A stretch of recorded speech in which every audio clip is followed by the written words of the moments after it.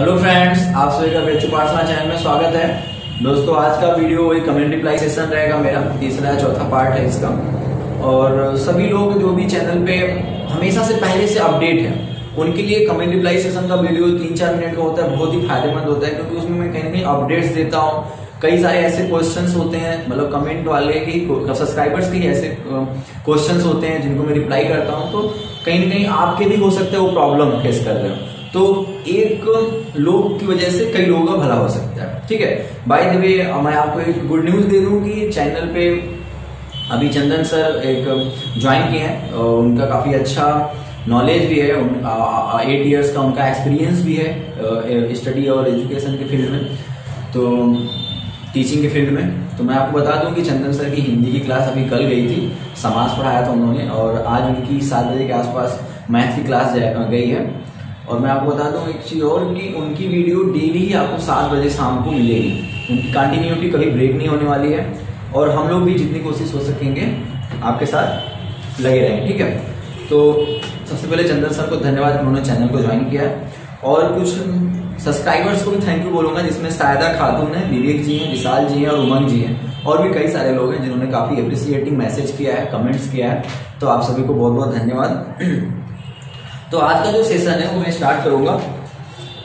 ठीक है? Comment reply session आज का क्या है?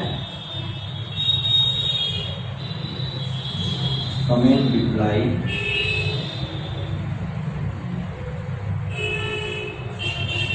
ठीक है?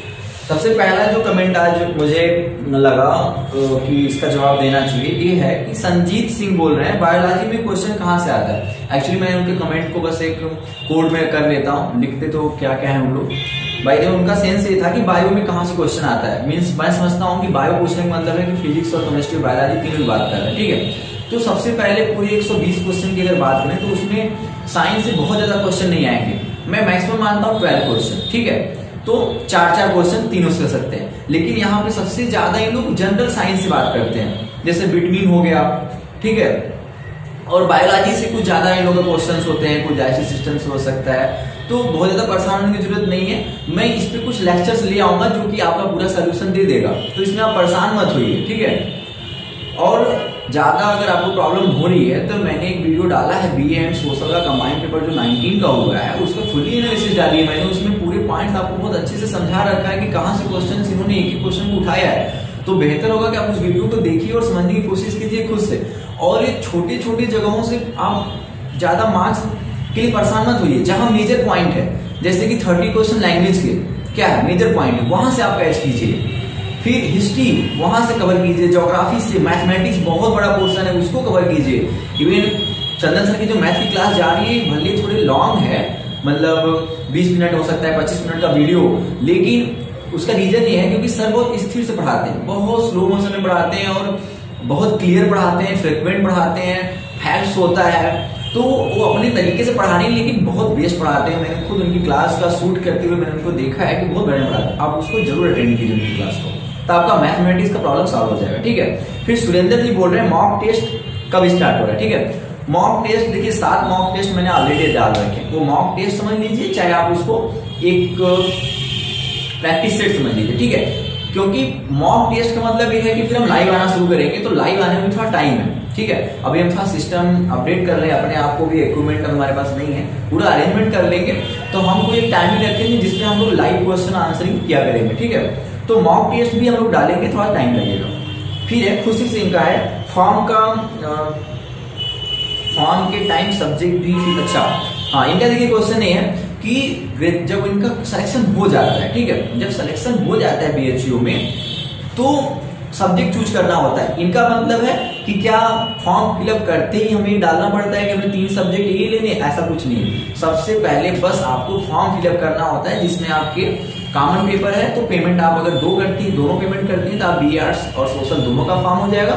अगर किसी एक का पेमेंट करती हैं तो टी जिसका करेंगे, उसका आपका फॉर्म आना जाएगा, चाहे बी आर्ट्स हो, चाहे सोशल सोशल का ठीक है? तो कभी भी ऐसा दिमाग से निकाल दीजिए कि आपके इंट्रेंस निकालने से पहले ही आपको सब्जेक्ट चूज़ करने का मौका मिलेगा, ऐसा नहीं वो आपके इंट्रेंस में जो इंडेक्स आएगा, उसी के बेसिस पे आपको सब्जेक्ट दिया जाता है बीएचयू में, ठीक है? अमीशा सिंह का है। इलाहाबाद में लैंग्वेज क्या होगा? हाँ इनका ये है कि इन्होंने भी कुछ लिखा था, बहुत हिंदी, इंग्लिश ऐसा कुछ करके, मुझे लग रहा है कि लैंग्वेज पूछना चाह रही है। तो देखिए क्वेश्चन पेपर का जो लैंग्वेज होगा, किसी भी यूनिवर्सिटी का है, वो दो लैंग्वेज में तो हंड्रेड परसेंट होगा, हिंदी और इंग्लिश। बाई द वे अगर आप चूज़ कर लेते हो, क्योंकि अब हमारे यहाँ तो बहुत सारी लैंग्वेज है ना बाईस सौ ऐसे करके लैंग्वेज है। तो आप अगर चूज़ करते हो तो फिर आपको उसमें भी स्पेशल पेपर दी जाएगी। और अदरवाइज़ ऐसे हिंदी इंग्लिश में हम यूपी वालों के लिए तो है ही। तो परेशान मत होइए, उसमें हिंदी इंग्लिश दोनों आता है। फिर बीकॉम में आंसर की के लिए अच्छा मुझे बोलना था। देखिए बीकॉम में आंसर की जो है, मैंने जो 2019 के पेपर का बीकॉम का आंसर की डाला है पचास क्वेश्चन का। मुझे पता है कि उसमें छह सात क्वेश्चन के आंसर मैंने गलत बता रखे उसमें रीजन ये था, क्योंकि मैं बीकॉम का स्टूडेंट नहीं हूँ, ठीक है? मैंने बहुत सारे आंसर को गूगल करके सर्च करके निकाल के जल्दबाजी में डाला था कि उसमें थोड़ा सा मुझे लालच था चैनल मोनिटाइज नहीं हुआ था तो मुझे लगा कि इस वीडियो को जल्दी डालेंगे तो लाइक से मिल जाएगा मुझे। लेकिन वो मेरे से गलती हुई है, जिसकी वजह से आप लोगों को भी फेस करना पड़ रहा है। मैं वीडियो को डिलीट भी कर सकता हूँ, लेकिन मैं डिलीट कर नहीं रहा हूँ, क्योंकि मैंने उसके थंबनेल पे जो चार पाँच क्वेश्चन गलत हुए हैं, उसका करेक्ट करके मैंने लिख रखा है कि इसका आंसर ये होगा, इसका आंसर ये होगा। तो प्लीज़ जो लोग भी थोड़ा सा मतलब दिमाग में उनके है कि ये गलत है, गलत नहीं आप थंबनेल पे जाकर देख लीजिए, वो करेक्ट करके मैंने वहाँ पे रखा है। ठीक है? फिर मोहित जी पूछ रहे हैं फॉरेन लैंग्वेज का वीडियो बना दीजिए। देखिए फॉरेन लैंग्वेज जो बी ए आर्ट्स मैं यहाँ पे बस आप लोग को इतना ही इन्फॉर्म करूँगा अभी आप बस फोकस कीजिए अपने इंट्रेंस एग्ज़ाम में। अंदर की कहानी बहुत भरी हुई है, बहुत अनसुलझा है। ठीक है मतलब बजा हुआ है।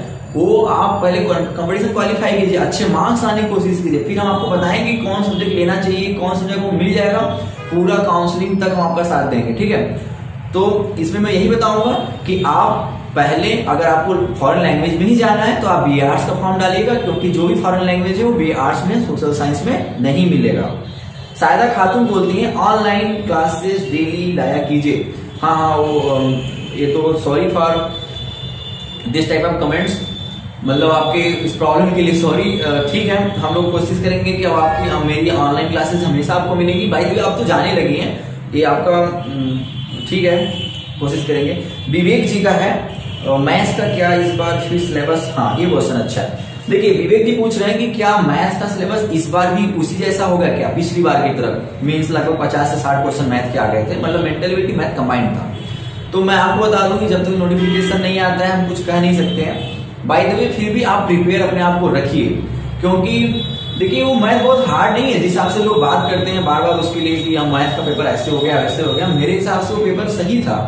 क्योंकि दसवीं तक का मैथ है कॉमन सा जनरल सा मैथ है, और आपको प्रॉब्लम होती है तो हम आपको चैनल पे मैथ्स की प्रिपरेशन स्टार्ट करा दिए, आप उसको कंटिन्यू कीजिए डेली लगाइए प्रैक्टिस कीजिए, और कोई अच्छी बुक ले लीजिए आर एस अग्रवाली ले लीजिए, उसको सॉल्व कर दीजिए तो इसकी प्रॉब्लम आपकी सॉल्व हो जाएगी। फिर शिवानी है कोई, इनका शिवानी जी का क्या है कि एग्ज़ाम का सेंटर कहाँ पड़ेगा? काफ़ी अच्छा क्वेश्चन है, क्योंकि ये न्यू अपडेट है, अभी इसमें चेंजेज आया है, क्योंकि मैंने अभी इसमें वीडियो डाला नहीं है। सब लोगों ने वीडियो डाला है कि न्यू अपडेट लगभग सभी चैनल ने इसकी वीडियो बना दिया है कि इस बार बी का जो इंट्रेंस होगा मतलब U U T two thousand twenty पूरा का पूरा ऑनलाइन बेस होने जा रहा है। तो मैंने आपको अब बता देता हूँ कि हाँ ऐसा ही है न्यूज़ कुछ सुनने में आया कि बीएचयू का जो यूटी ट्वेंटी है, वो पूरा का पूरा ऑनलाइन होने जा रहा है। और उससे भी अच्छी न्यूज़ ये है कि जो जिस स्टेट का है, वो उसी स्टेट में पेपर दे सकता है। बिहार वालों को आके स्टेशन में सोने की ज़रूरत नहीं है, केरला वालों को आके होटल ढूँढने की ज़रूरत नहीं है, किसी को घाट घूमने की ज़रूरत नहीं है। आप अपने जगह पे ही पेपर दे सकते हैं, अपने स्टेट में, अपने सिटी में दे सकते हैं। तो ये रही आज का कमेंट रिप्लाई सेशन के पूरे कमेंट्स के आंसर